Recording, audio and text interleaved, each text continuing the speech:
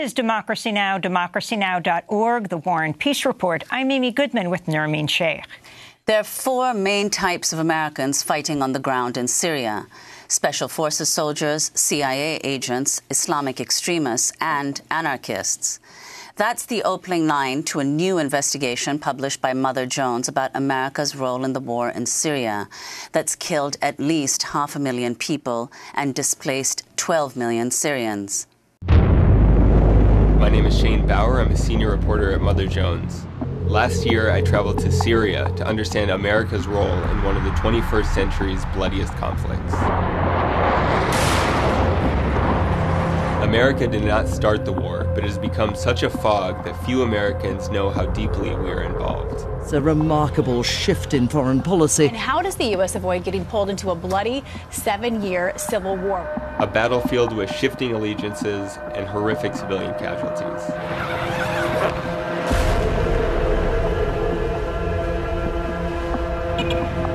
The only thing that seemed worse than getting sucked into the conflict was not getting involved at all. Shane Bauer's new two-part 30,000-word investigation on Syria is headlined Behind the Lines. Shane's been reporting on the Middle East for over a decade. He's one of three Americans detained in 2009 while hiking in Iraq's Kurdish region near the Iranian border. He and Josh Fattal were held for 26 months, and Sarah Shourd was held for 13 months, much of it in solitary confinement. Shane Bauer has gone on to become a prize-winning reporter. In 2017, he won a National Magazine Award for his piece, My Four Months as a Private Prison Guard. He later turned the piece into the book American Prison, a reporter's undercover journey into the business of punishment. Shane, thanks so much for joining us again. This is an astounding expose, well over 100 pages. Uh, talk about why you went to Syria.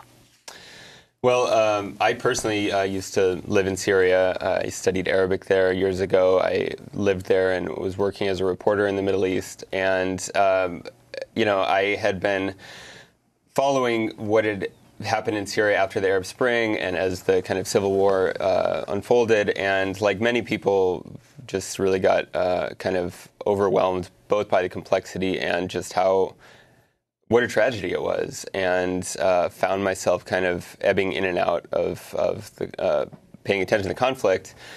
And uh, I started to wonder, you know, I knew that, that the United States was involved. We've had many moments of, of involvement that have gotten grabbed headlines and others that have gotten less tension. And I really wanted to kind of untangle uh, our role in that war, uh, which, you know, is one of this century's greatest tragedies. Um, and I wanted to understand not just um, the role of, uh, you know, um, Obama and diplomats, but of the, the special forces, of the, the CIA, and of private citizens who joined and fought on different sides of the conflict. Well, let's go back, I mean, to the, the position uh, uh, of the U.S. Uh, in this war and how it impacted directly on your reporting. Explain why you were initially denied uh, a visa to Syria and how you managed to get in. Uh, I applied for a, a visa, um, you know, to Damascus and uh, was denied uh, shortly after a, a chemical attack, uh, a chlorine attack on uh, the d- suburb of uh, Ghouta. after that attack, um, the Trump administration launched missiles on some research centers outside of Damascus, and my visa was was later denied. Um, uh, so the way that I went in was uh, through Iraq. I entered uh, northeast Syria, an area controlled by the Syrian Democratic Forces, which are the um, kind of uh, allies on the ground of the U.S.-backed coalition. They control about 25% of, of the country, um, most of the Kurdish areas, and also um, uh, Arab cities like Raqqa and mixed cities like Manbij. So I crossed in with permission of, of the SDF. And how long did you stay? I spent three weeks in the country. Well, let's go back to, to 2011. I mean, many have raised uh, uh, questions about why uh, the Syrians didn't immediately join in uh, as people across uh, the Arab world and North Africa were, were protesting against authoritarian regimes. You point out, of course, that the memory of the attempt at an uprising against Bashar al Assad's father, Hafiz al Assad, and that regime's response to the protesters was a massive inhibitor. So Explain what happened in 1982. Yeah, I mean, I think this, uh, you know, gave Syrians pause. There was uh, in 1982 there was an uprising by the uh, Muslim Brotherhood, and it was brutally crushed. And in some in some ways, you know, looking back, uh, there's there's no comparison to what's happened, you know, in recent years, but uh, it was almost a precursor. You know, the um, uh, Hafiz al-Assad, the current president's father, uh, leveled parts of the city, and you know, uh, much like uh, Bashar has done, you know, in recent years. So, talk about oil and gas and what this has to do with this conflict.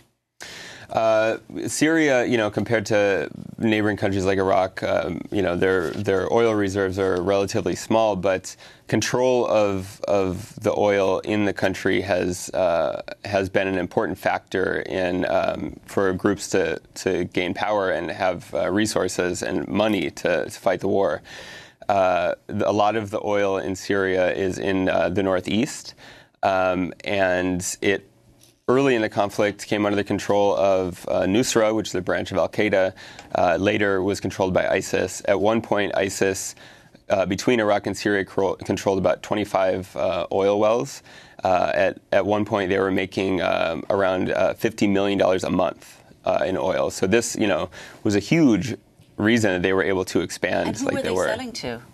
They were selling to uh, they were selling locally within their territory. They were uh, smuggling oil out uh, to Turkey, Iraq, and to uh, Syrian regime held uh, areas. And as you say, actually, that made uh, ISIS the best financed terrorist organization ever. But now you say the SDF, the Syrian Democratic Forces, who, you know, their U.S. Yeah. allies, they control most of the oil and yeah, gas reserves right. in Syria. Explain how that came about. There was a moment uh, in 2017 when uh, the the U.S.-led coalition and the SDF were uh, fighting ISIS uh, in Raqqa. The Syrian government and Russians were, were fighting ISIS in Deir ez-Zor. And the U- United States and, and Russia had, uh, before this, essentially made an agreement to kind of divvy up territory in Syria.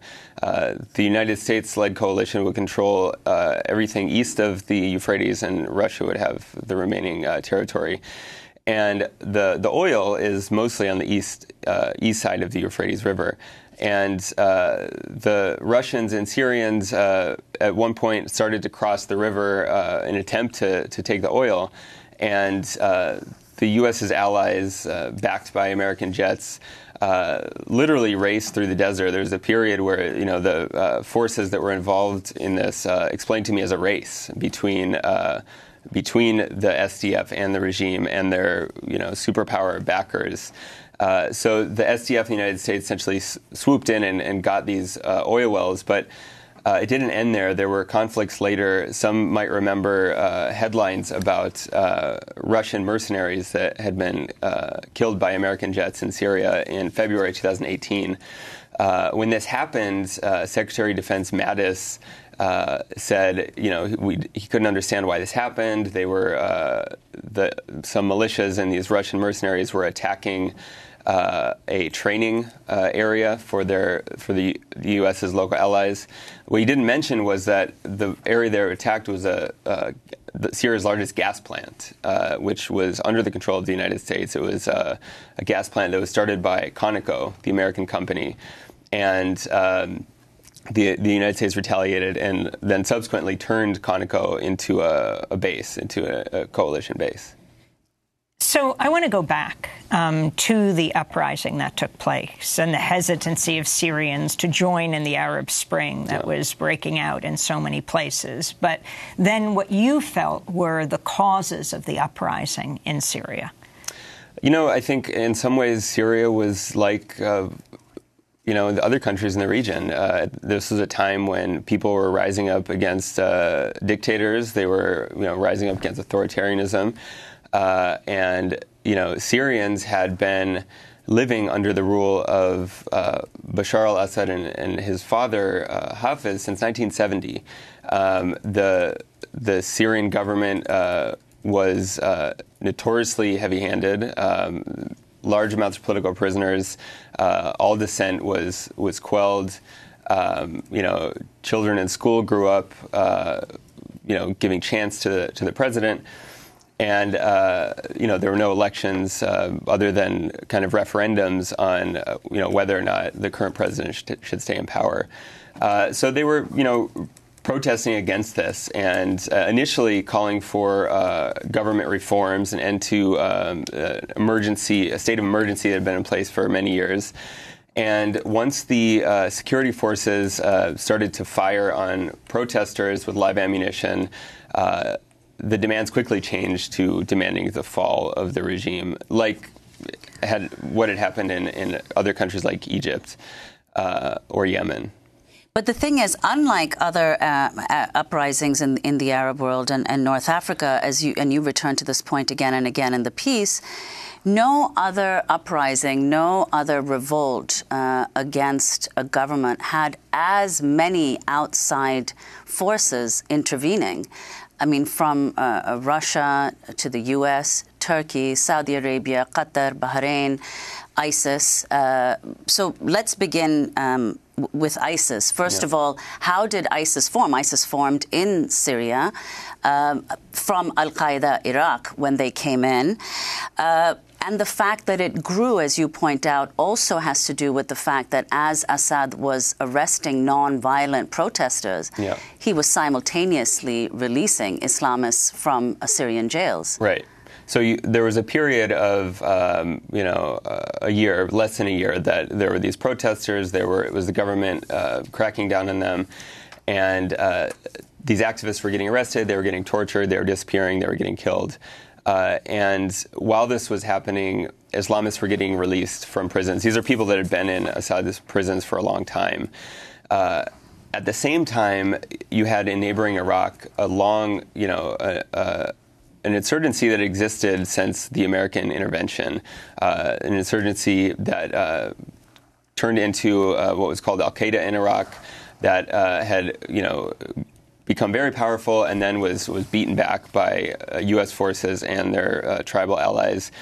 So there was still a, a, kind of core of that insurgency that existed in Iraq, and they essentially uh, dispatched uh, people to Syria to start something there, and that became what was called uh, uh Nusra. It was a, a branch of Al Qaeda in Iraq. Uh, Nusra joined up with a lot of these um, people that had been released from Assad's prisons, and uh, in 2013. ISIS essentially Nusra split in two, and ISIS uh, became a kind of even more extreme version of Al Qaeda. And uh, eventually, the, the two groups were, were at war with each other. ISIS was, of course, at war with everyone. And where did Russia and the U.S. fit into this picture? The United States uh, you know, Obama was making uh, statements early on in the conflict, 2011. He was calling for Assad to step down, but it wasn't really backed by anything. Um, officials in the White House told me that uh, they essentially believed that he was going to step down, uh, like Mubarak had, and Obama kind of wanted to uh, get a, you know, ahead of, be on the right side of history. Uh, but that, of course, didn't happen, and uh, eventually, um, the United States, you know, got uh, one of their their first major moments was when uh, the Assad regime used uh, sarin gas uh, in Ghouta in 2013 in the summer. Uh, Obama, before before this uh, this gas attack, had said that he had a red line where if the Syrian regime used chemical weapons, he would, you know, strike. So the chemical weapons were used, and there was a, a long kind of um, back and forth, and Obama decided uh, not to strike. Um, but shortly after that, uh, just months after that, uh, a new CIA program was started. Uh, it was called Operation Timber Sycamore. It was a billion dollar program. Uh, Why was, Timber Sycamore? Um, I don't know actually. I don't know how they named it, um, but it was it was uh, one of the largest CIA uh, covert operations since the United States backed the Mujahideen in Afghanistan.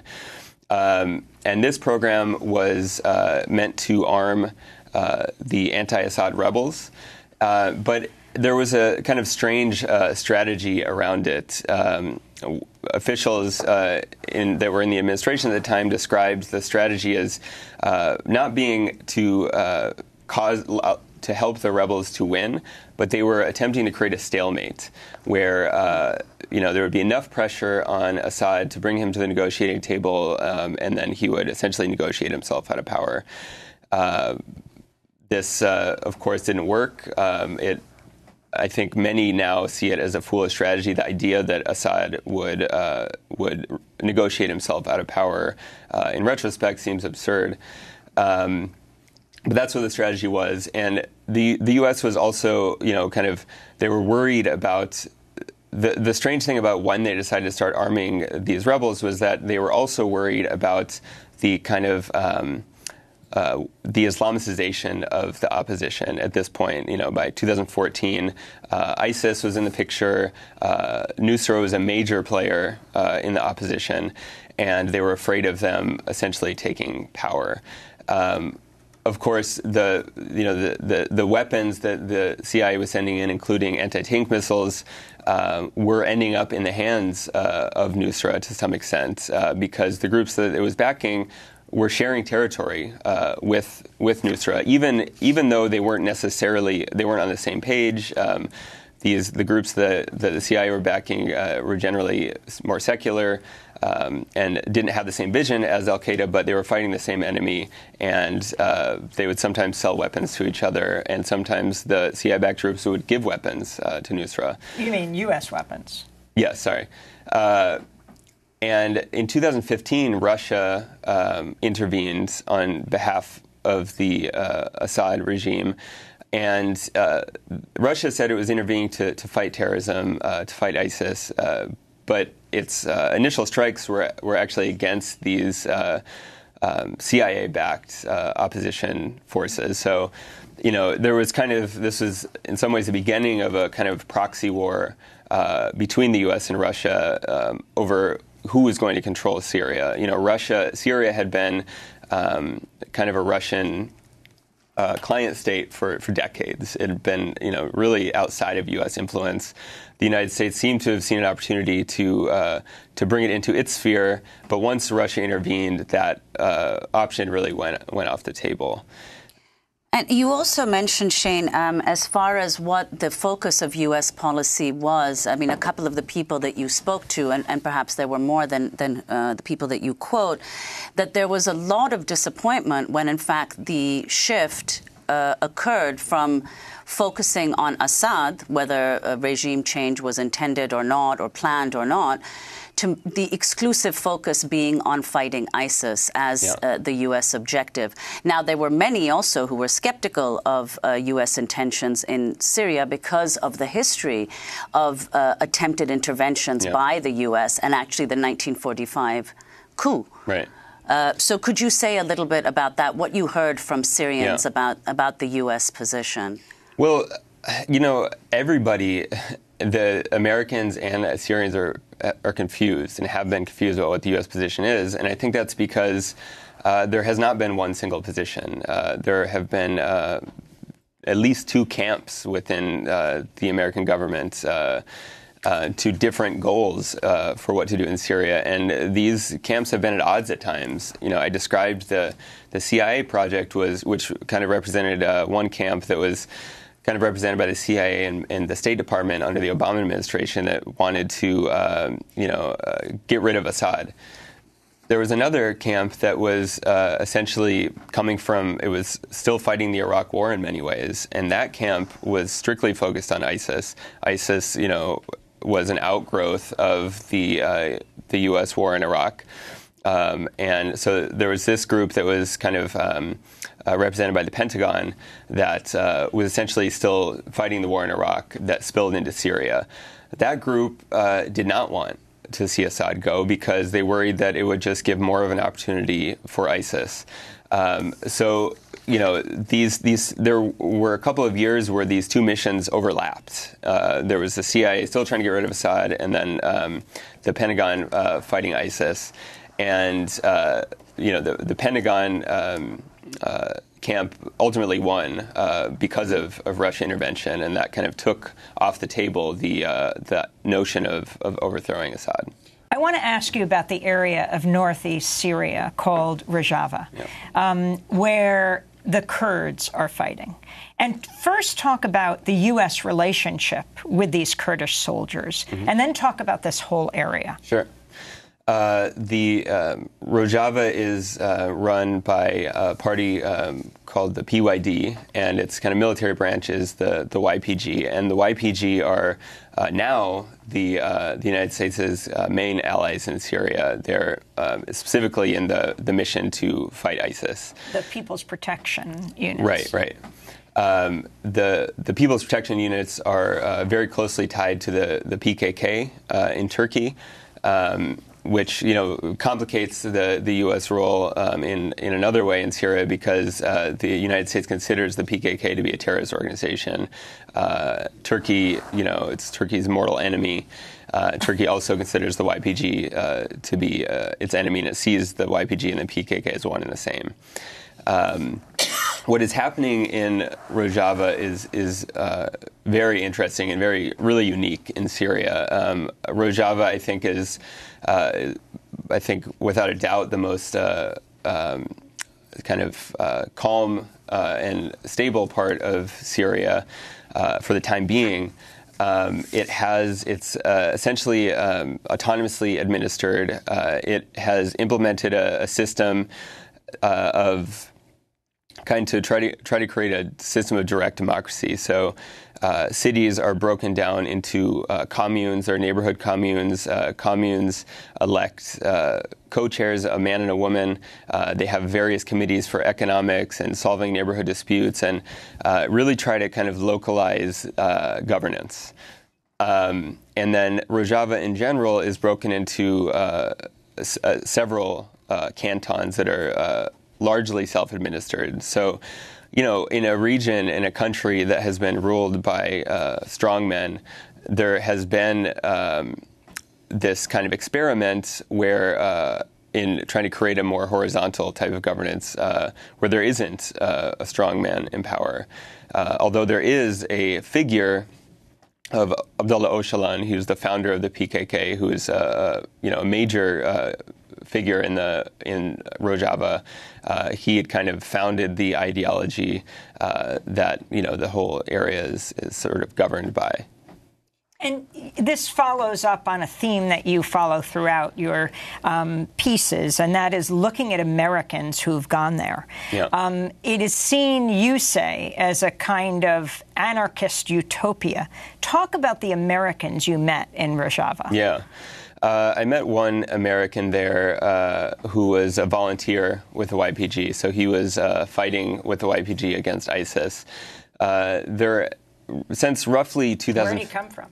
Uh, I don't know what state he came from. He didn't tell me. I just know he's from the United States. Um, but there have been uh, Americans traveling there since roughly 2015 to join the the YPG uh, initially, these Americans were a real kind of mix. There were, uh, you know, Christian fundamentalists that wanted to go and fight Arabs. There were uh, former uh, Marines uh, who wanted to get back into battle, and then there was uh, a kind of cohort of, of leftists, largely anarchists and those are the ones that, that are still going. There are less of these uh, other types. The YPG have kind of, what I've been told, they've kind of cracked down on uh, the kind of more right wing elements. Um, so uh, these people will go um, and they'll go through training with the YPG, and then they will, uh, you know, join a battalion and uh, and fight against ISIS. And how did they respond to you being there? Uh, I met with uh, some of the international fighters. Um, you know, sat down with them and did an interview. Uh, they were uh, a bit cautious with me, I would say, um, but were you know open to to talking to me.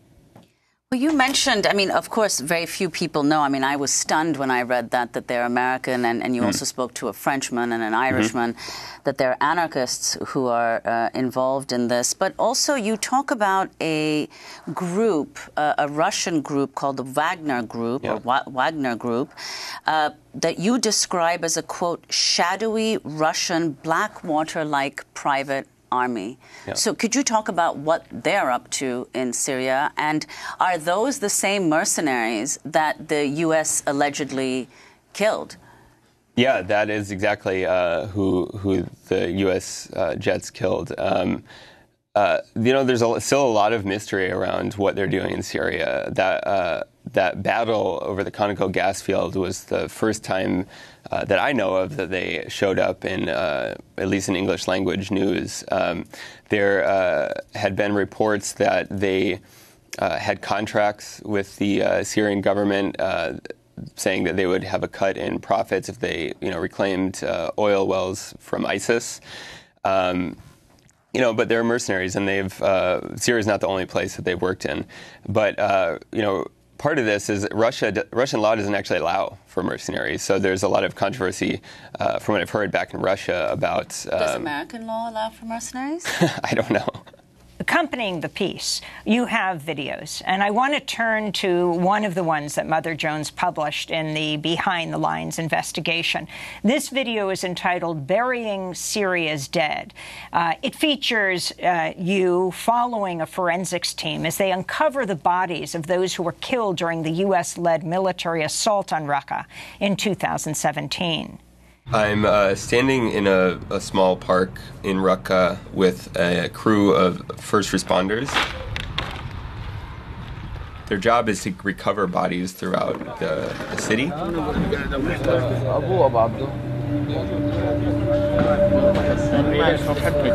These are ambulance drivers, essentially.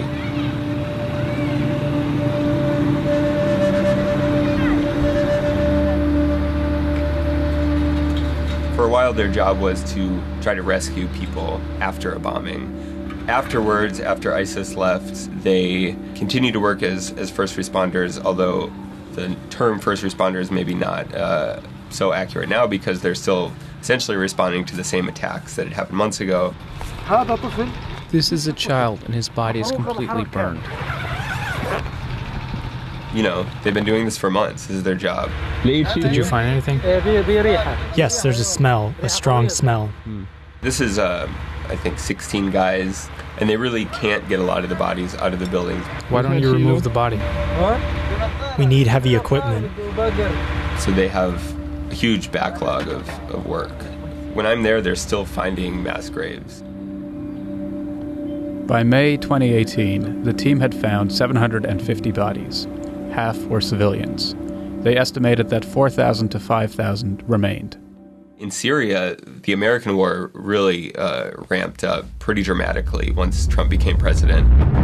Overnight, airstrikes lighting up the Syrian sky. 59 Tomahawk cruise missiles have hit a Syrian airbase. Trump really loosened the rules of engagement. The military approach in Syria switched to uh, what he called annihilation tactics. In 2017, there was, in the summer, started to be preparations for a, uh, a much larger battle.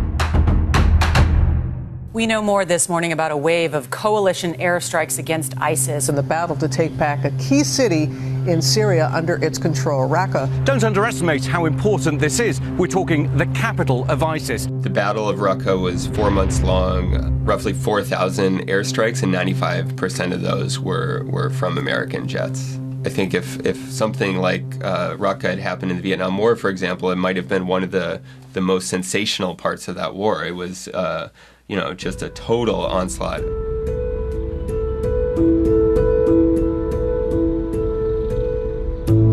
The, you know, the coalition claims that they were very precise in their uh, campaign on Raqqa, but civilians that I spoke to described a campaign that was uh, blanketing the city with, with bombs.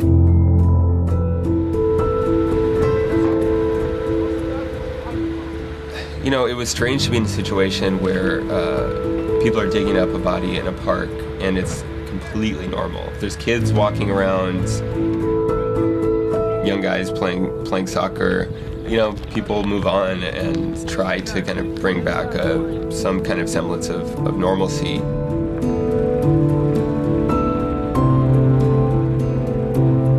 They go to a particular location on the outskirts of the city where there is a, a very large mass grave.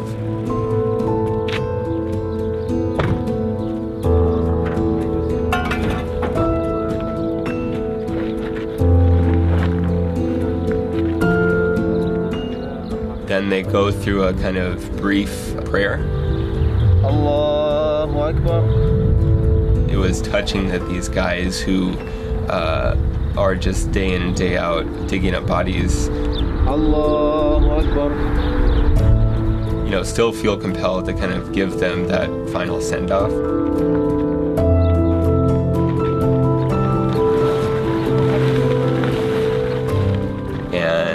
Head home for the day and start it all again the next day. That's a clip from the investigation Shane Bauer did. It's called Burying the Dead. Talk about who these dead bodies are and what exactly happened there in Raqqa that led to these deaths.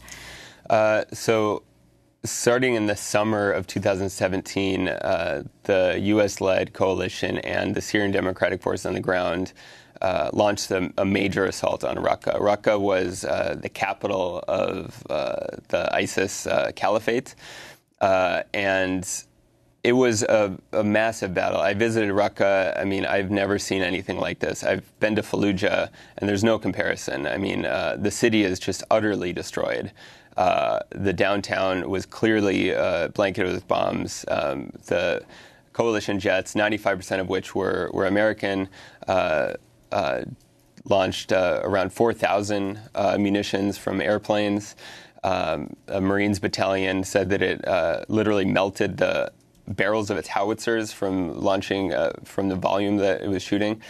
Um, and ISIS was you know, using every tactic they could. Suicide bombers, uh, they were mining everything, uh, and uh, were using uh, human shields, filling buildings with civilians.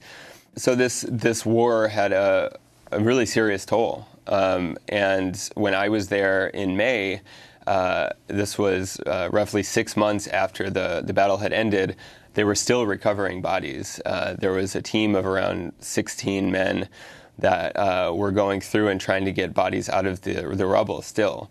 Um, they had very little resources. Uh, they mostly relied on shovels and picks and um, the they uh, one of the doctors told me that the bodies that so there were there were two kind of uh, types or places that they would find these. There were uh, in the buildings, and then there were mass graves. There were mass graves all throughout the city that were uh, hastily dug either right before uh, the attack or during. And the mass graves tended to have uh, ISIS fighters in them. So imagine they're fighting and they just, you know, somebody is killed and they throw them in the, the mass grave. Uh, the buildings, however, the doctors told me were mostly civilians, uh, you know, which suggests that there were many buildings uh, that were bombed that didn't have fighters in them, you know, and, and this is something that people repeated to me in the streets of Raqqa all the time, you know, that uh, we didn't have there was no ISIS in the street when when we were bombed, and you know all these buildings got killed, and some of them their neighbors were still trapped, their bodies were still trapped in the buildings. Um, you know, it's it smelled. I mean, if you depending on where you were in the city, it was just really uh, horrific. And they they also these these first responders, I should say, many of them were first responders during ISIS's reign, so they were also racing to buildings after they were bombed. And uh, one of them told me that uh, the, one of the first things that the jets targeted were the ambulances themselves. And he showed me a, a pile of, of, bombed out ambulances, and they would. Uh, you know, try to hide their their ambulances under trees. You know, park them under trees or or uh, something to uh, disguise them from the jets so they didn't get destroyed. Well, I'd like to go back to you know what conditions uh, were like under ISIS in Raqqa. One yep. of the people that you spoke to while you were there, uh, as part of this investigation uh, behind the lines in Syria, uh, was uh, uh, Zain. Someone mm. you called Zain. His yep. identity wasn't revealed, right. and his face was blurred. he was imprisoned by ISIS in Raqqa, and in this clip, he takes you around the sports stadium that was converted converted into a prison under yeah. ISIS rule. He details the torture he experienced while he was detained there, and he was not identified uh, uh, for fear of his own uh, security. So this is uh, Zain. The main prison where we were held has 15 solitary cells at the end of the hallway. So it was the first time he had been back since he himself was imprisoned there. And here were the group cells. We were in the solitary cells. Every once in a while, they would take me out to interrogate and torture me. They had us blindfolded. We didn't know who beat us or who interrogated us. But most of the time, we were interrogated by children. They sounded like children, not adults. These are the handcuffs they used. They used to cut our arms. They showed us no mercy. He had scars on his wrist, and they would cuff him behind his back and then hang him, and then they would interrogate him. This way, even if you haven't done anything, you will still confess. Zain also recalled coming to that stadium before ISIS turned it into a prison. Do you remember coming here when it was just a stadium? After having shown me, you know, the prison, he talked about how he used to come there as a kid. And the stadium was the best of its kind. Right here were training rooms. They would hold weddings uh, in the area that was now a prison. All these were celebration halls used for weddings and events. They all took place here.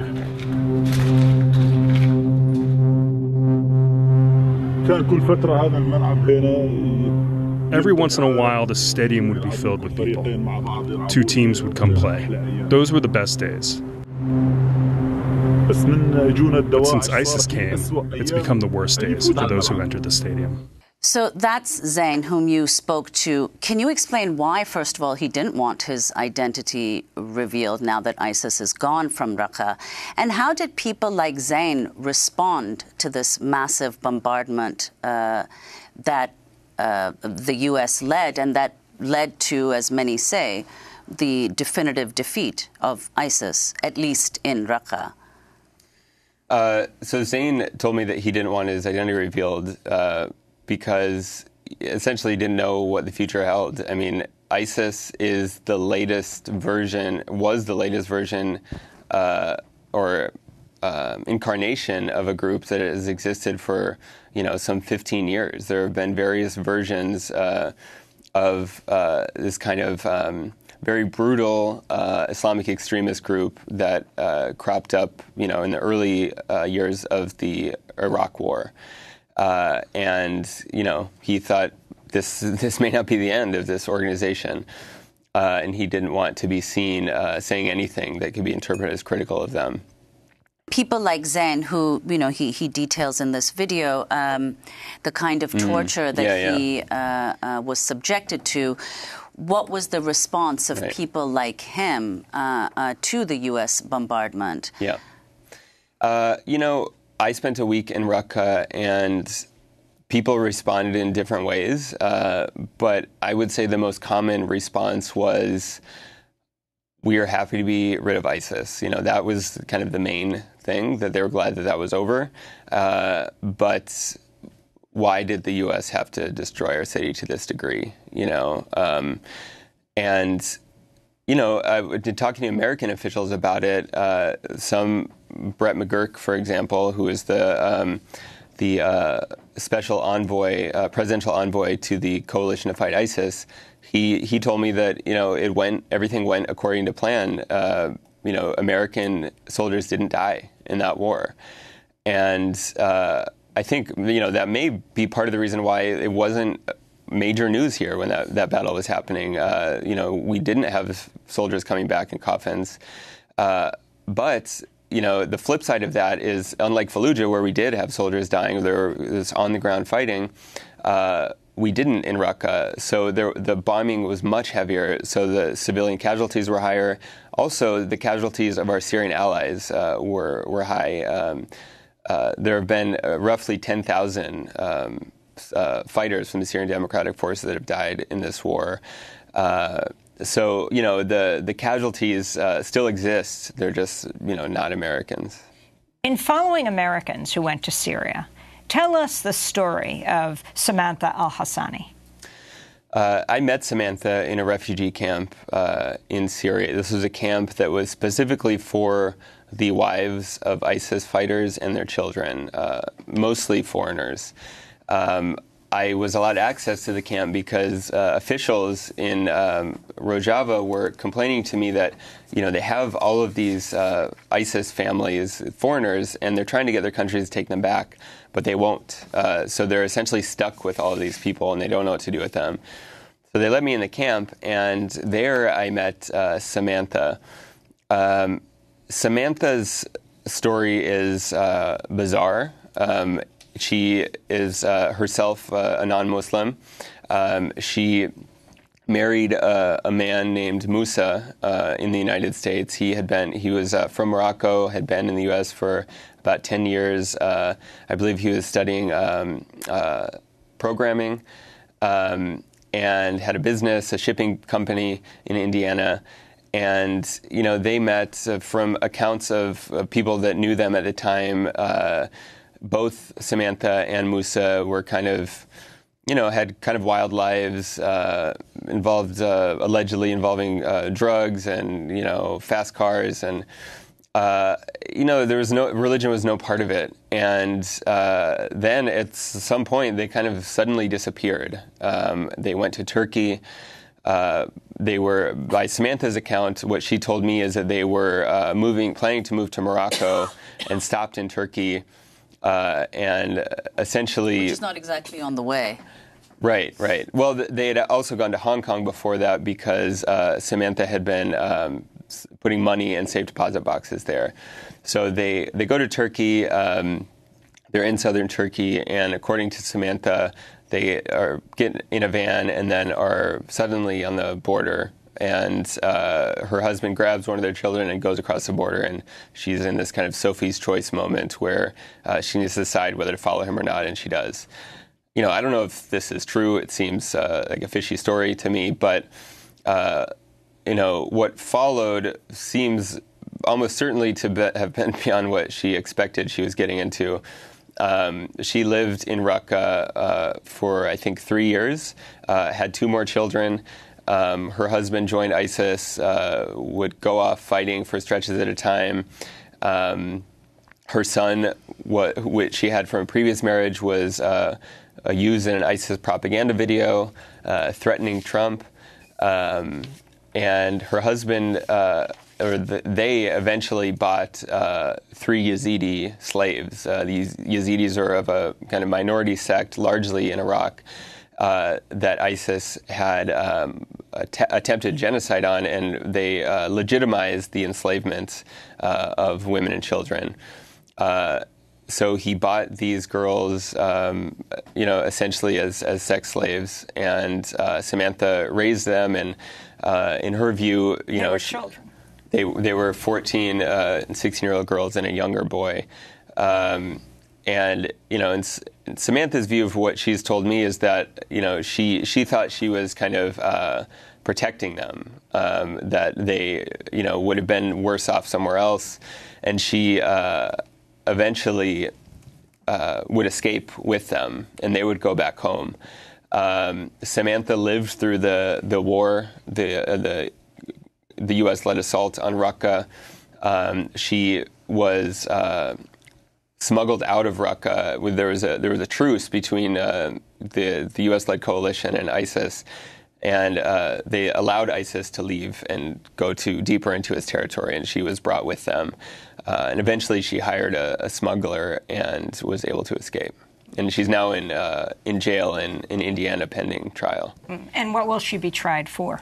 for uh, support of uh, terrorism, material support. And what is her argument? You know, it remains to be seen. Uh, there, there's not a lot of documentation out yet, but it seems that her defense um, is uh, going to claim that she was a victim of her husband. Uh, she had, um, by the accounts of others, had been abused by him before they went to Syria. Um, uh, he seemed to uh, he seemed to have been very abusive, and so the circumstances of how exactly she got there uh, are still not not clear at all.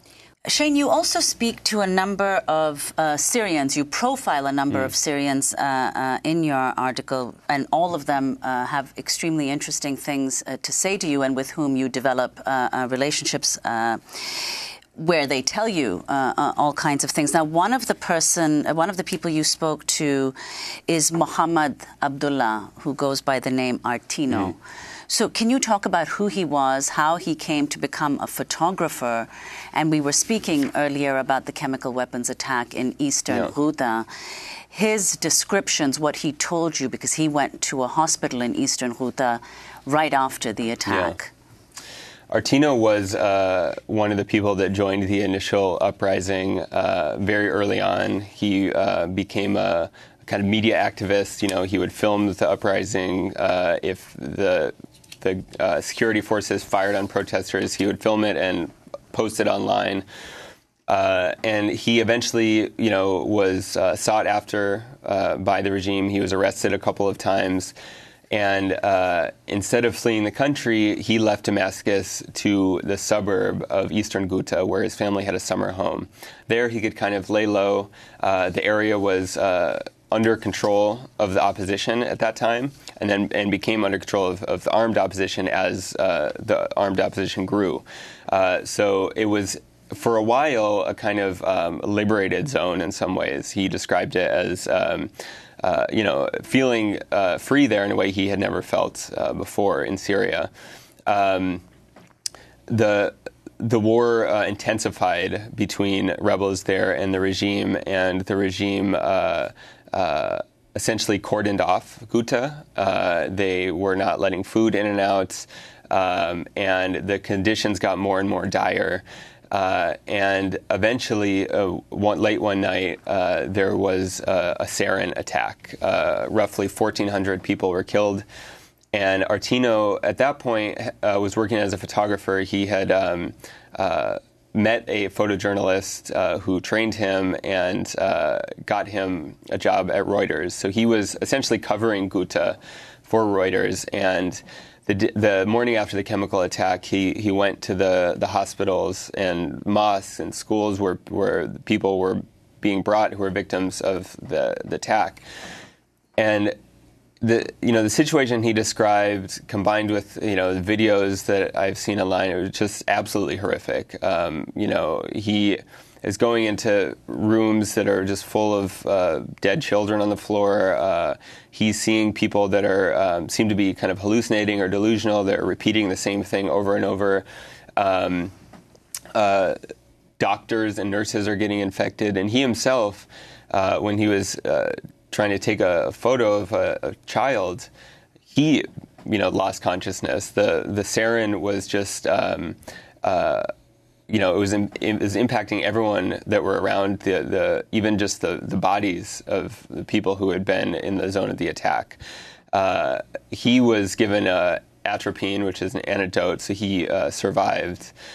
Um, you know, and he described that that that period of time when, uh, after the attack, uh, people expected that there would be a, U.S. response because Obama had made his famous red line uh, statement. And uh, he described the day that uh, Obama made a speech uh, shortly after the, the chemical attack. It was very anticipated. Uh, Ghouta didn't have electricity, but people had generators and people bought fuel to, to be able to watch the speech and gather on televisions.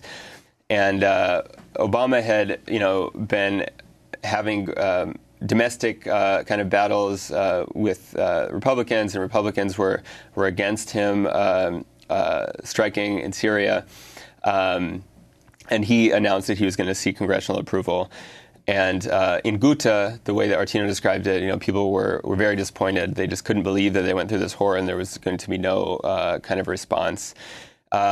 And, you know, Ghouta left the headlines, um, but Artino lived there for a long time after, and the, the siege tightened. Uh, he lost uh, many, many pounds. Um, he, uh, you know, was repeatedly injured. People were starving to death. Um, it just became very grim. And then, and at the same time, uh, the the rebels, you know, were overtaken by Islamist groups. Uh, so he was not only having to deal with the siege, but um, Islamist groups who were also uh, kidnapping activists and uh, you know disappearing some of the most uh, uh, famous activists in the the Syrian opposition. I want to ask you about these gas attacks, and you write extensively about them, but how you know where these attacks have come from. Uh, the State Department um, has said that the Syrian government may have used chemical weapons during recent fighting in Idlib. Uh, the State Department warning the United States and its allies would respond quickly and appropriately if it's determined that chemical weapons have been used. And this all coming as questions have been raised about, well, an alleged chemical weapons attack in the city of Douma last year. The Syrian government was accused of dropping two gas cylinders on the city, killing dozens of people. The U.S. and allies responded by carrying out airstrikes. But a newly leaked internal document from the Organization for Prohibition of Chemical Weapons, OPCW, reveals there were conflicting views within the OPCW as to what happened. The leaked document suggesting the cylinders were manually placed on the ground and were not dropped from the air. This led some observers to conclude the chemical attack might have been staged by Syrian rebels. The leaked document appears to contradict the official OPCW findings on what happened in Douma. It's a, in its official report, the organization said it had found, quote, reasonable grounds that the use of a toxic chemical as a weapon had taken place on April 7, 2018. So talk about how you track who is responsible for these gas attacks of which, and you clearly document this in your extensive piece, there have been hundreds. Yeah. Uh, so the original sarin attack, for example, this this one I was describing in Ghouta in 2013, uh, there was a UN uh, team that investigated afterwards, and the UN team was not actually. Uh, their mission was not to determine who was responsible, it was to determine what the the attack was, um, what the substance was. Uh, they determined that it was sarin. Uh, I spoke to the head of the team, um, and in their in their report, uh, while they're not determining uh, saying who launched the attack, they uh, clearly lay out uh, where the the sarin was launched from. they showed that it was the head of the inspection team told me it was high grade sarin. This is not the kind of sarin that you can make at home. Uh, and it was launched from the direction of a uh, military site on uh, Qasioun Mountain um, in, uh, on the outside of Damascus. Um, you know, when you add up all of these factors uh, and try to imagine a scenario in which uh, some other group is launching it, you have uh, somehow, uh, you know, a rogue group that's uh, making military-grade sarin that's sneaking into an area uh, controlled by the government, launching a weapon on its own side, and escaping without being caught. Um, and you know this kind of scenario uh, repeats over and over when you look at these chemical attacks, where uh, the uh, the scenario in which uh, they're not launched by the Syrian government is it's almost you know outside of reason. Uh, then later, after this attack, other attacks have been documented uh, much more extensively. the attack in Khan Sheikhoun. Um, was uh, studied by the UN, and they did assign responsibility. Uh, and you know, they said it was that it was the Syrian government. Um, and it's important to also note that while there have been a, a, a, maybe two or three attacks that have gotten a lot of attention, they've been really picked apart, uh, and you know. Uh, Russia has been a, a major actor in uh, casting doubt on this. Russia is an ally of the Syrian government. Um, uh, there have been hundreds of chemical attacks in Syria. Most of these are chlorine attacks, not sarin attacks, uh, that have been extensively studied. Uh, and the, there was a, a, recent study that came out that showed that uh, the vast majority of these, and we're talking over 95% of these, uh, have been launched by the Syrian government. There have been some uh, launched by ISIS, uh, specifically a mustard and possibly one sarin attack. Well, I mean, one of the things that you point out in the piece is that, I mean, there's no other war in recent memory that has been subject to so many disinformation campaigns yeah. and so many conspiracy theories. And coming at this point from all quarters, I mean, as you said, the Russians and, and the Assad government yeah. itself, that the Assad government doesn't have the reach that Russian media do. Um, refuting uh, uh, a number of these international uh, organizations that have reported on these attacks, and then simultaneously groups uh, in the West, certain groups, mm. claiming that a lot of these attacks are in fact false flag operations and that these are all a pretext to get the U.S. to yeah. militarily intervene, including Republican you cite former Congress member Ron Paul, who also claimed that the Ghouta attack was a false flag operation. Now, obviously, there's some justification given the claims that the U.S. made about uh, uh, Iraq's uh, weapons of, of, mass destruction, and arguably the decision that the U.S. made to go into the uh, to invade Iraq is, in fact, what's given rise to uh, ISIS and spawned uh, these wars. At least one of the main reasons. But could you comment on what you think? I mean, the complexity of the war is there. So many different actors are involved. What do you think accounts for the fact that there's so many conflicting reports from so many conflicting different quarters about what's actually happening in Syria and who's responsible for what?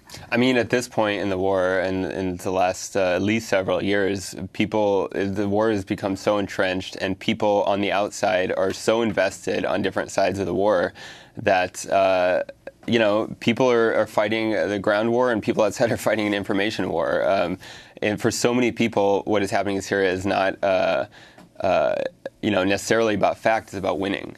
Um, and I think for a lot of people, it's also not about Syrians. You know, it's uh, Syria is a full proxy war, uh, and I think uh, I don't know if we've had a conflict like this where uh, it's not only a literal proxy war, but it just ripple the ripples go so far. Um, I mean, you can find. Uh, uh, major divisions just within the American left about the Syrian war, you know, um, you, and this is all over the world. You know, there uh, it's just that it reaches, I think, farther than we, we can even realize. Um, and you know, in some ways, I think these points that people uh, that people kind of focus in on, like p- particular chemical attacks, uh, you know, they're also just uh, places that we can kind of fight these these battles with each other.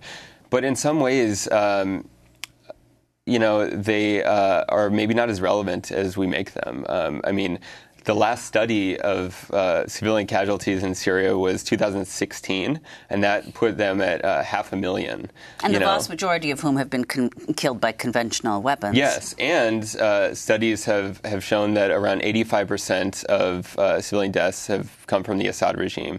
Um, you know, this doesn't uh, mean that uh, groups like ISIS or Nusra or the Free Syrian Army are, you know, absolved of, of any of their uh, crimes or any of their atrocities. Uh, this, these are just the facts of the situation, you know, and uh, whether you uh, you know, whatever you think about American intervention or Russian intervention or anybody's intervention, this is still the fact on the ground. This is still what is happening in Syria. And where do you see this going as we begin to wrap up your piece called Behind the Lines? I went to Syria to understand America's role in one of the 21st century's greatest tragedies. Do you think you understand any more? um, I'm still confused in some ways about this uh, conflict. It's incredibly complex. Uh, I think now you know, Assad has, has clearly won the war. There's no doubt about that. And I think this final or the current phase of the war is about territory and who's ultimately going to control what. Uh, is Assad going to get back all of Syria? Uh, he's currently uh, fighting in Idlib to try to take that from uh, opposition forces. And then there's still the question of uh, the um, of northeast Syria, the area that is under U.S. control. Uh, this is 25% of the country. And, uh, you know, Trump recently announced that he was going to withdraw troops, and there was a lot of panic around it, uh, understandably, because, you know, a sudden American withdrawal uh, could likely mean, will likely mean that Turkey, you know, will invade to fight its enemy, the YPG, and uh, this will be a horrific situation for the Kurds in Syria. Uh, it could also mean that the Kurds in Syria ally with uh, Assad to keep Turkey out uh, you know, which is also going to have detrimental effects. Um, we just don't know where it's going to go, and not to mention there are still. Uh, thousands of ISIS uh, fighters being held there, and uh, there are hundreds that are from other countries that are not being taken back. Syria has, in some ways, been uh, used as a kind of dumping ground uh, for these people. And uh, not only is, is that not fair, but it's just not smart. I mean, ISIS has broken out of prisons many times. Imagine a situation when Turkey uh, has a massive military invasion. You think these people are going to stay in these uh, small jails that they're being held in? Probably not. Well, let's end uh, with the person whom you end the piece with, your Kurdish fixer, Ibrahim. So, as you were preparing to leave, explain what happened between you and Ibrahim.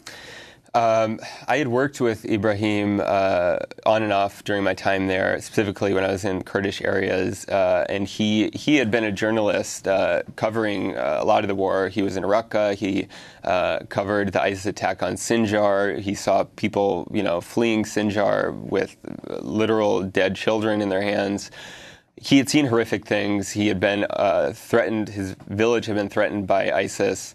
Uh, and during the time that I knew him, uh, he he I rarely saw him eat. He was having really serious physical problems, and he told me that uh, there was a time before I came, a couple months before I came, Trump had, had announced that he was pulling out troops, and that since that had happened, he was uh, having serious stomach pain. Uh, he he was just he didn't know what he would do uh, if Turkey invaded, um, and you know, he he was clearly kind of struggling. And on uh, a couple days before I left Syria, you know, we had an appointment, and uh, he kind of uh, told me he was having issues with his car and he needed more money. And I'm in Syria, you know, there's no ATMs in Syria. I just have what I have, and I tell him I don't have it. And uh, he kind of just um, uh, snaps, you know, and he, you know, shouts at me. Um, uh, you know, if this is what America is, you can keep it. And he punches me in the face, and I jump into a taxi, and that's the last time I saw him. It was an unfortunate way to to leave the country. Shane Bauer, award winning senior reporter at Mother Jones. His latest investigative piece is an in depth look at the role of the U.S. in the war in Syria. He spent three weeks in northeast Syria in May 2018. The multimedia feature in two parts is headlined Behind the Lines, and we'll link to it at democracynow.org. I'm Amy Goodman with Nermeen Sheikh. Thanks so much for joining us.